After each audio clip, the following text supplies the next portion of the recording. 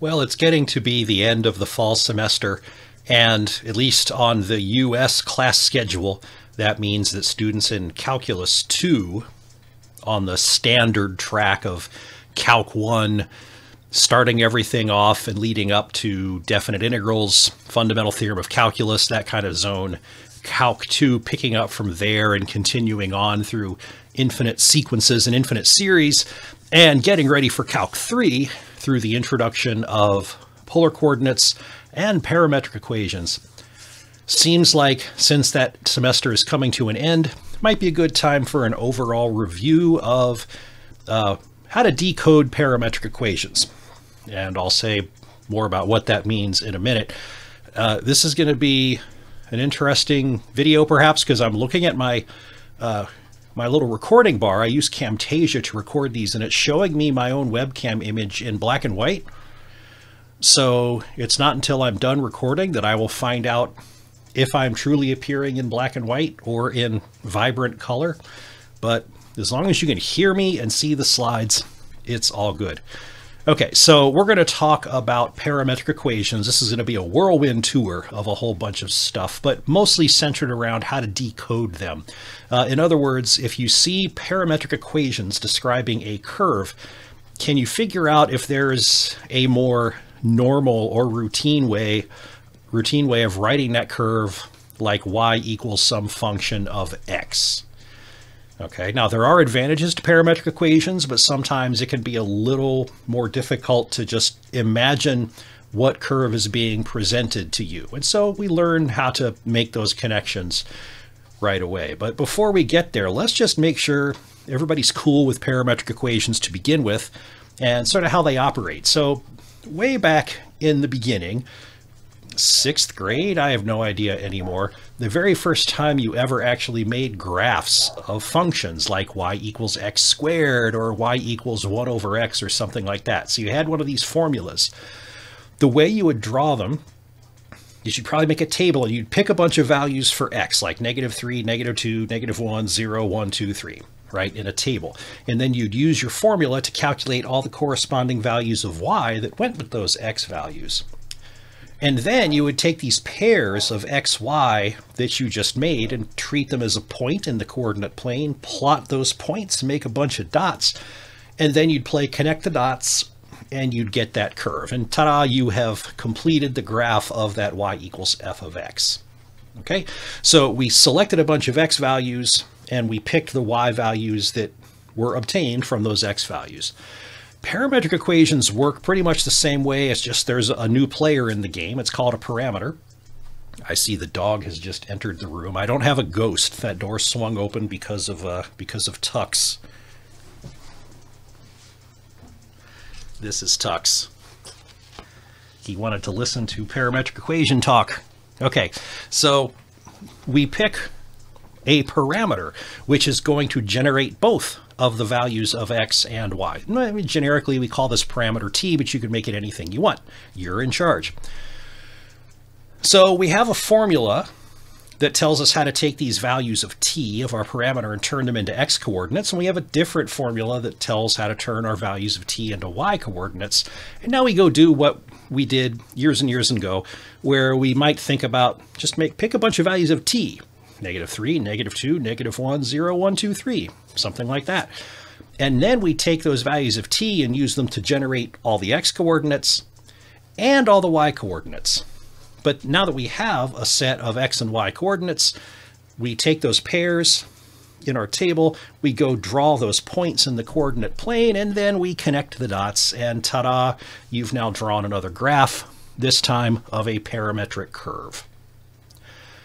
Seems like a lot of extra hassle to introduce this extra player in the game, but there are some advantages because we can generate more curves that are more interesting in a lot of cases than a y equals f of x type of curve, or even curves that are written explicitly, like the equation of a circle is generally presented as x squared plus y squared equals the radius squared.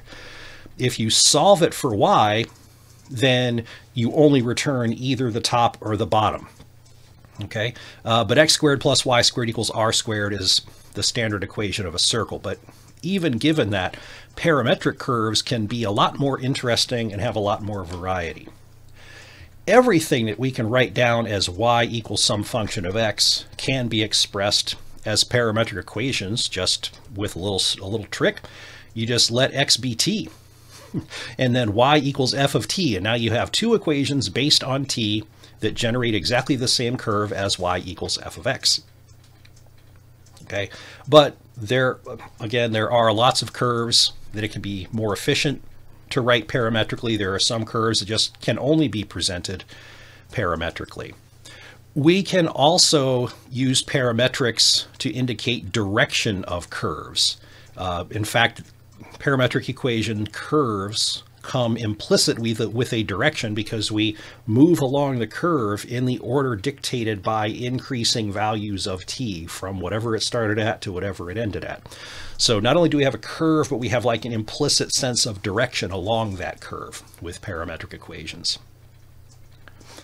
It is also easier to present clipped segments of curves with parametric equations, right? Usually if you describe a parabola, you just give its equation, y equals x squared plus 5, right? There's a parabola. But what if you just want to clip out one segment of the parabola? Well, you can do that more easily with parametric equations because you present that function that is going to generate all the x coordinates out of our t values. You have an equation that generates all of our y coordinates out of those t values. And we also present the, the range of values of t that we use all together. t is going to go from 0 to 10, or t is going to go from minus infinity to infinity or whatever it is. But that's a crucial part of the description of a parametric curve. So it's very easy to describe a curve segment and also the direction in which we traverse the curve. Okay, so here's a very, very simple example. Parametric equations are x equals t and y equals t. t goes from 0 to 1. Now, if x is equal to t and y is equal to t, then this curve is also known as y equals x. It's the, straight, the perfect diagonal, very generic straight line. And since t only goes from 0 to 1, the only portion of this line that we're interested in is from 0, 0 to 1, 1. And we move from the point 0, 0 to the point 1, 1. So y equals x is usually the whole line.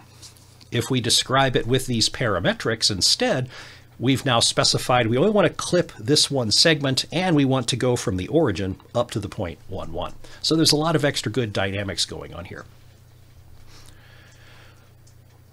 It's also easy to do things like reverse that direction. So if we change the equations to x equals 1 minus t and y equals 1 minus t, we still have a scenario where y and x are the same. So this is the curve y equals x, except now the first value of t, 0, puts us at the point 1, 1, and the final value of t puts us at the point 0, 0. So it's the same line y equals x, but clipped between the origin and the point 1, 1, the first version took us from the origin out to 1, 1. The second version is taking us from the point 1, 1 back to the origin. So you get clips of segment, clips of curves, and you get directionality depending on how the parametrics are set up. Now, that's just the big story about parametric equations. The specific thing we want to focus on here is if you're given a set of parametric equations that describe a curve, can you decode the parametric equations and just figure out the, the more regular y equals f of x type of curve, or maybe the more implicit type of curve like x to the fourth plus y to the fourth equals 7. I mean, that's a curve, and it's circle-ish. Uh, and it can be written as in parametric form, and it can be decoded perhaps to learn that that's what it is.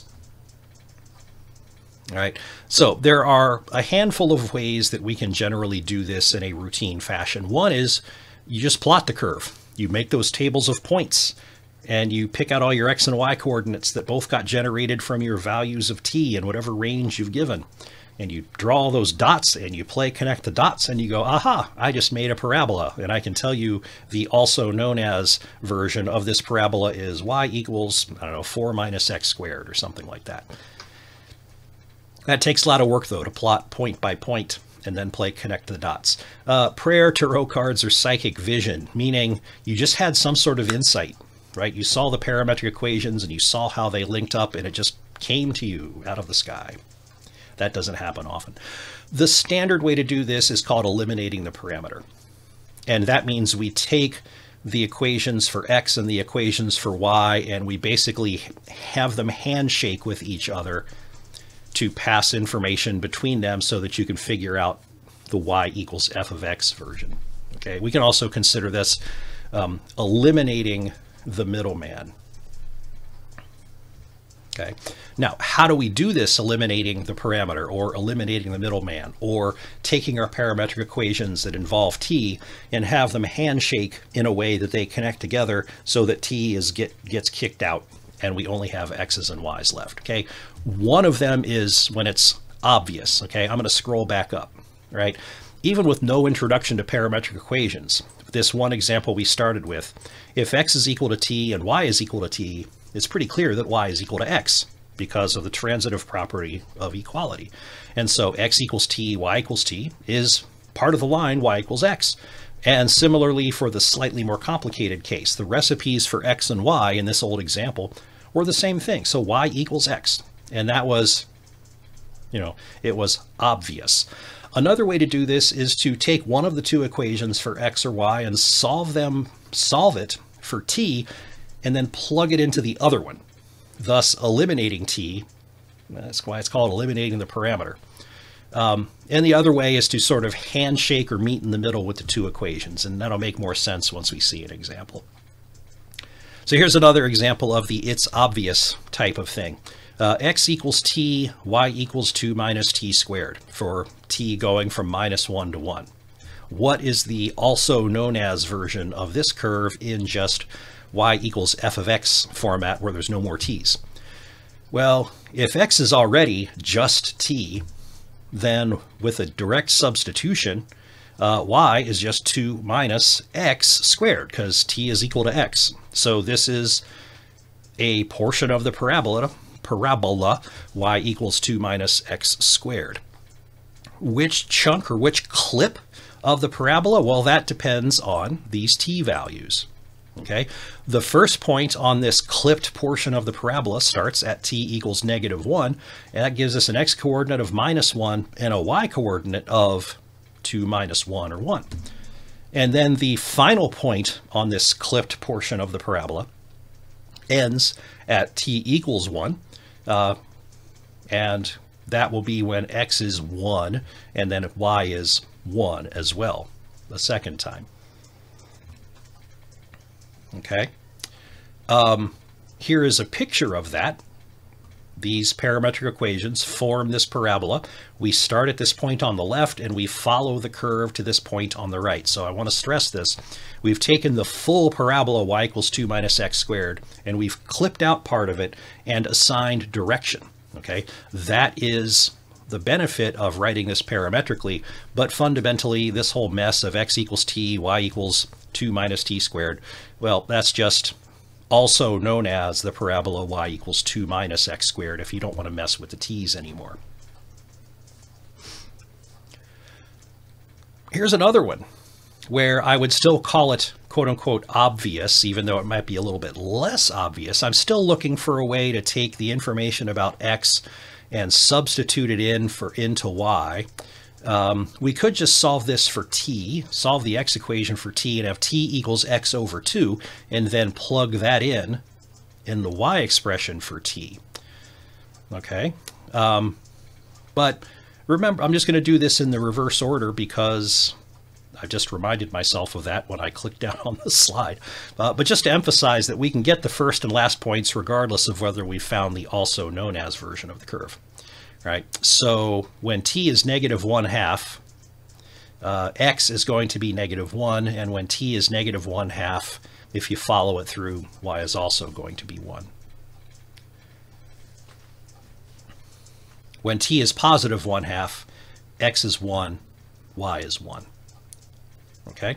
Now, to the handshaking part of this, again, we could either solve t and write t as x over 2 and then plug that in here and shake it down for y, or we could do something a little bit more clever and say, wait a minute, 4t squared is just 2t, the quantity, squared, and that 2t uh, is x itself, and so this is y equals 2 minus x squared. And then, wait a minute, isn't that the curve? Isn't that this curve?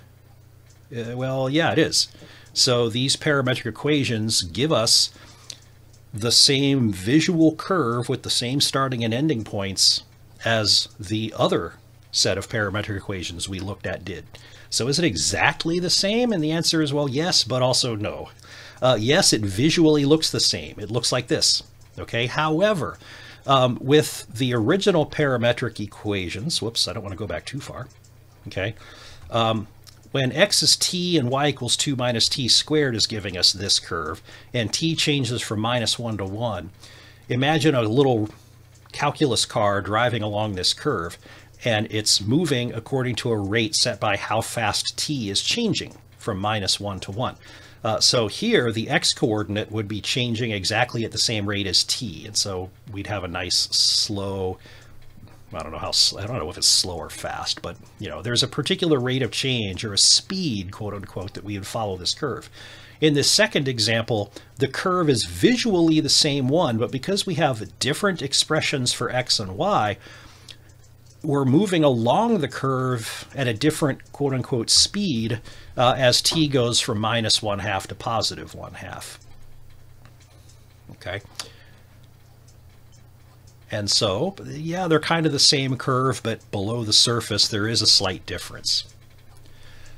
All right, another way to decode parametric equations is to take one of them, solve it for t, and then pass it off to the other one.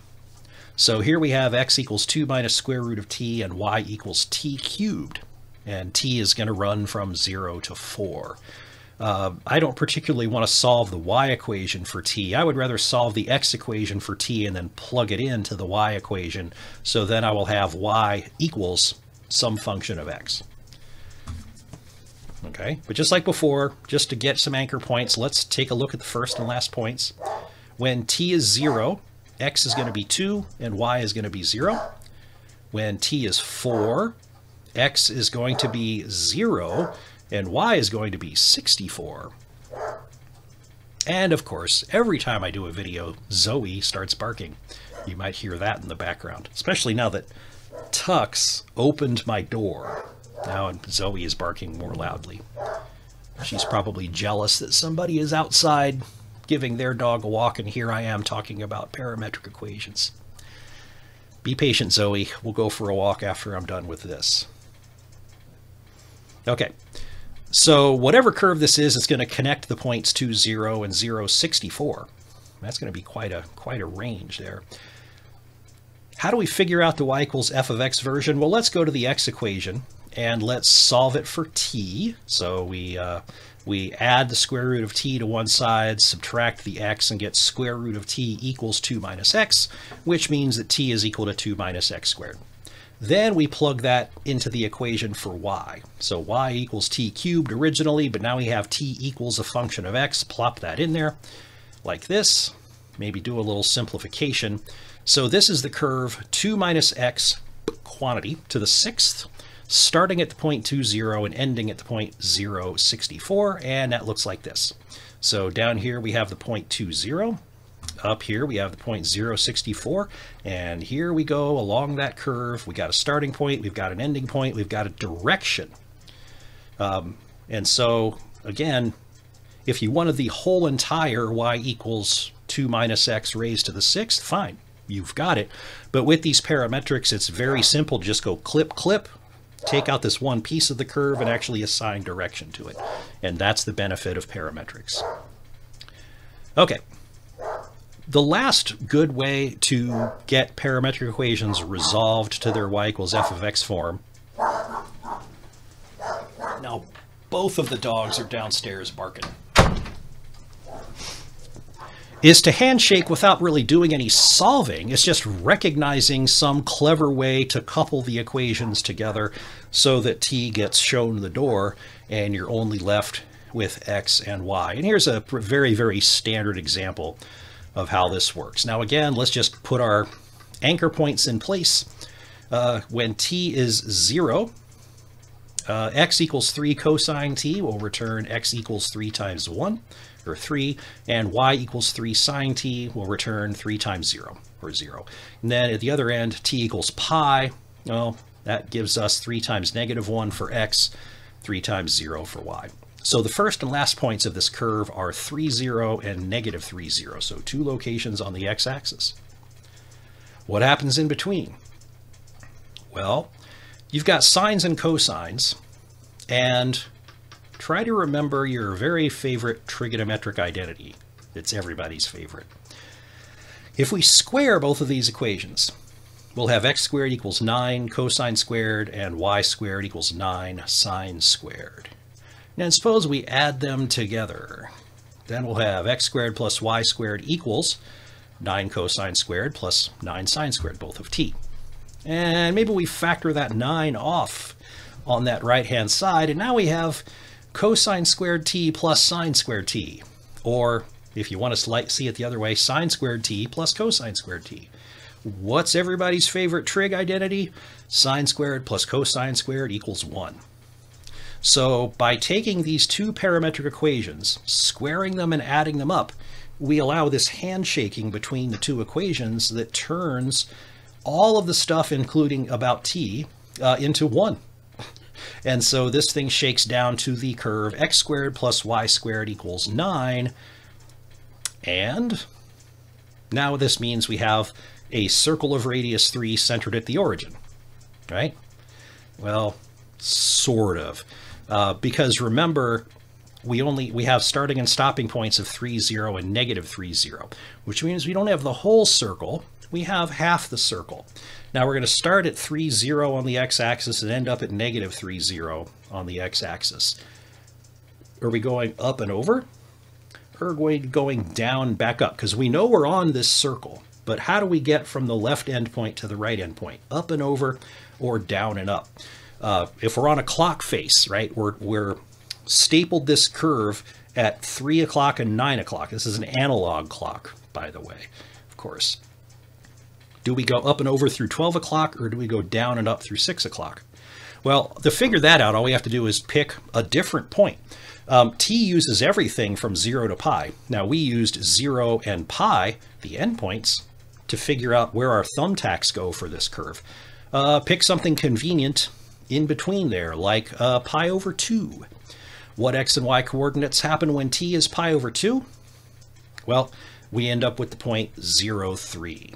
And so now we know that if we start at 3, 0, we go up and over to 0, 3, and then down to the other side. So we start at 3 o'clock, go up through midnight, and over to 9 o'clock. So we're going counterclockwise around the circle of radius 3 centered at the origin, the top half of it.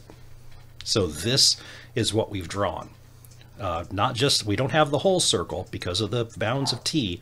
We're starting over here on the positive x-axis. We're going counterclockwise around the top half of the circle. We're ending up over there at negative 3, 0, and that's it.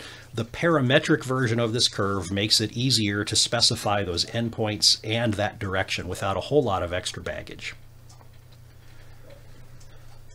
Okay, let's have a little fun with this.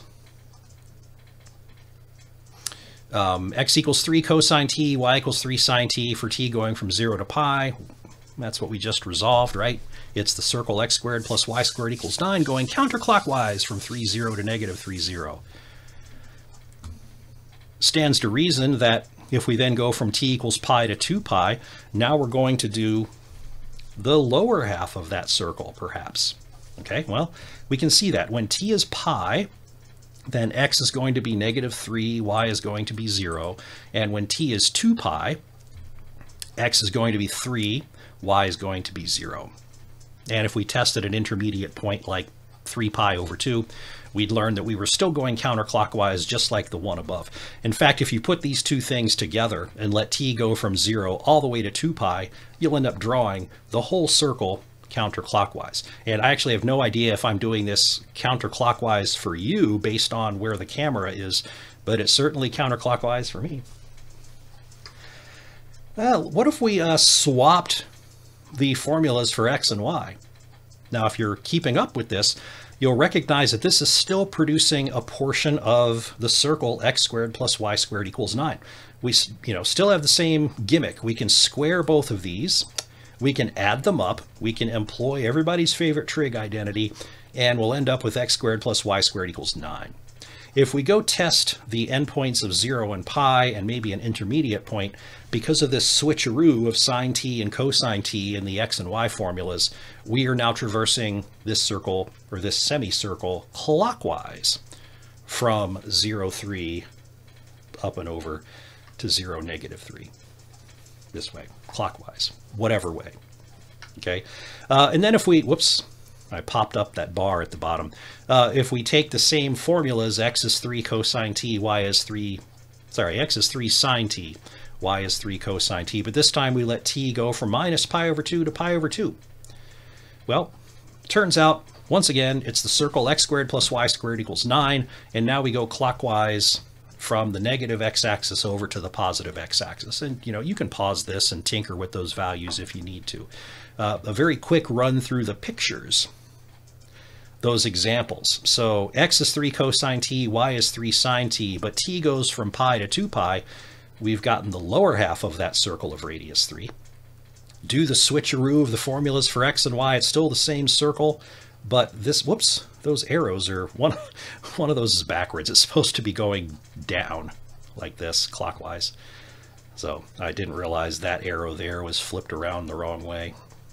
Um, and then if we change those bounds for t equals negative pi over 2 to positive pi over 2, now we're going clockwise from the negative to the positive x-axis. So you can clip out all sorts of segments along arc, or arcs uh, around a circle with good starting and ending points in whichever direction you want to go just by the proper arrangement of your functions for x and y and the starting and stopping values of t. Again, that's the power of parametric equations.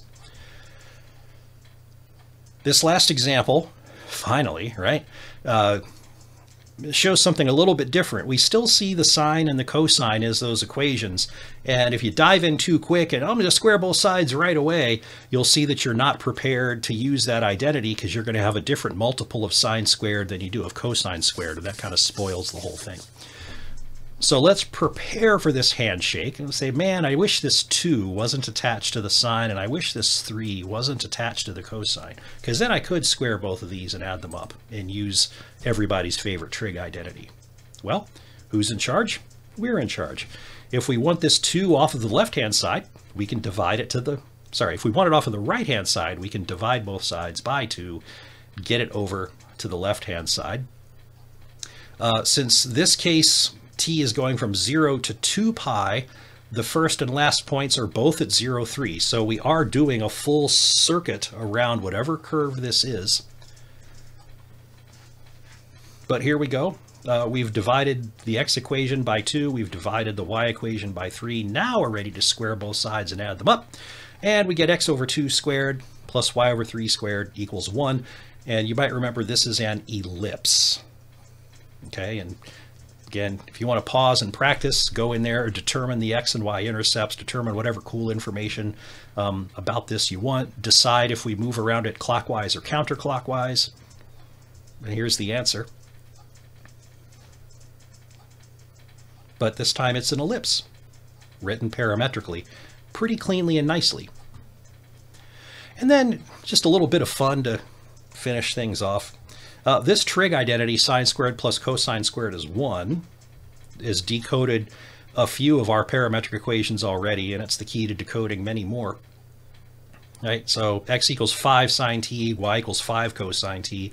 Even without starting and stopping values of t, we know that this is going to produce either part or all of x squared plus y squared equals 25. So it's part of a circle. Now here's another identity that you possibly have been introduced to in the past. I'm pretty sure you have if you're at the point where you're doing parametric equations. You may remember these weirdo functions with the x or h in there. This identity can help decouple uh, parametric equations. And even if we don't decouple one, let's just throw them in as parametric equations. Now pause and just keep in mind, our generic trig functions sine t and cosine t, when they were used as parametric equations in this manner, we got a circle. Now, and there was that trig identity helping us do that.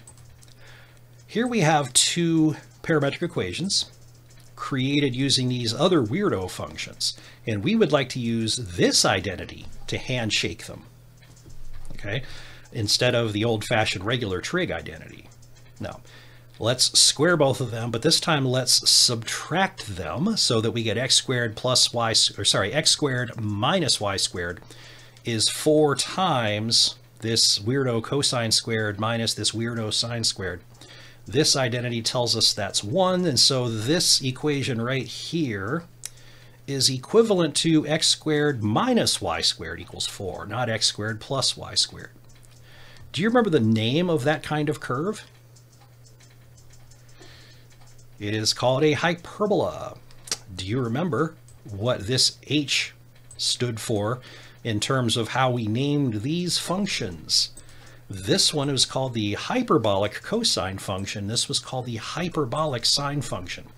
When we use them as fundamental building blocks of a pair of parametric equations like this, we generate a hyperbola. And so if you ever wondered where that h came from, this is one of the symptoms of the reason that we call these hyperbolic trig functions. Okay, I just, I said all this already. So, and here's a picture. The original um, domain here for t was just t is greater than or equal to zero. Uh, this function, these both of these functions get huge as t gets bigger and bigger. Um, and so we can't draw it for every t greater than or equal to zero. Uh, mechanically for this plotting, if I cut off t at 2, uh, the curve still goes out of the window, but we can at least still see some of this curve. You can see that hyperbolic shape starting to build there. And if I allow t to start at negative 2, uh, then we can see that we've got a fully developed hyperbolic shape coming from these parametric equations. That's pretty cool. Okay, so that is your whirlwind tour of parametric equations. How do they work? Why do they work? Why do we care about them?